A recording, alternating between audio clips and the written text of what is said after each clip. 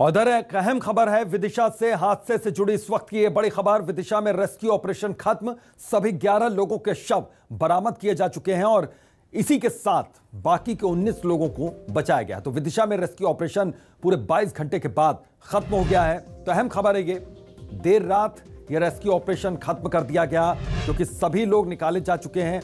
11 लोगों के शव भी बरामद हुए कुएँ से 19 लोगों को बचाया गया, उनका रेस्क्यू किया गया, अस्पताल में उनको भर्ती करवाया गया। तो करीब 22 से 24 घंटे तक ये रेस्क्यू ऑपरेशन चलता रहा है और यहाँ पर यह बता दें कि 11 लोगों की जान चली गई इस दर्दनाक हादसे में, जबकि 19 लोगों की जान बचाई जा सकी है।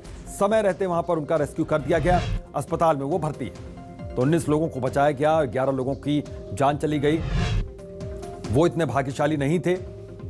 तो दर्दनाक हादसा हुआ है। ज़ाहिर है कि पूरे इलाके में अब काफ़ी मातम का माहौल है, मातम पसरा हुआ है। लेकिन रेस्क्यू ऑपरेशन भले ही खत्म हो गया हो, लेकिन वहाँ भी पुलिस बल की तैनाती है। ये देखिए, कल दिन भर किस तरीके से रेस्क्यू ऑपरेशन चला है। चार तस्वीरों के ज़रिए समझिए, रेस्क्यू ऑपरेशन, यहाँ पर मंत्री विश्वास सारंग मौके पर मौजूद रहे कल।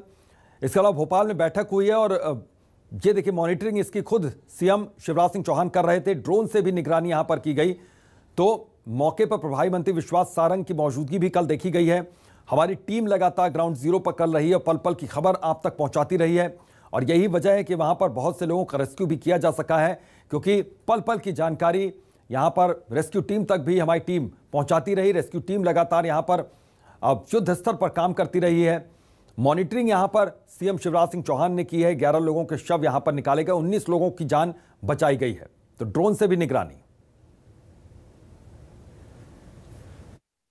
विदिशा के गंज बसोदा में मौत के कुएँ के कई राज हैं क्योंकि ये मौत का कुआँ इसे हम इसलिए कह रहे हैं क्योंकि अभी तक इसमें से चार शवों को निकाल लिया गया है और अभी भी एक दर्जन के आसपास इसमें जो बताया जा रहा है कि लोग दबे हुए हैं।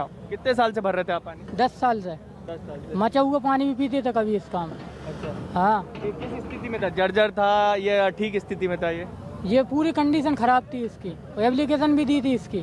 कार्रवाई नहीं हुई। गर्मियों में। हैं? गर्मियों में कि कुआ क्रैक हो चुका है। अच्छा। हाँ। और कुआँ क्या पूरी ऊपर से कवर्ड था क्या कि किस तरीके जाली लगी हुई थी?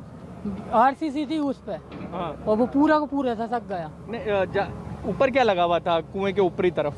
पहले गाटर फटती थी फिर गिट्टी थी। अच्छा। हाँ।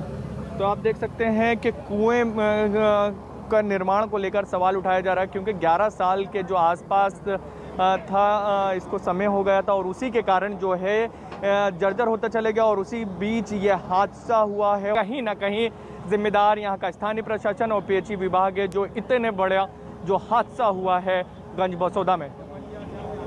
कैमरामैन खेमचंद के साथ शब्र अहमद, न्यूज़ 24 गंज बसोदा।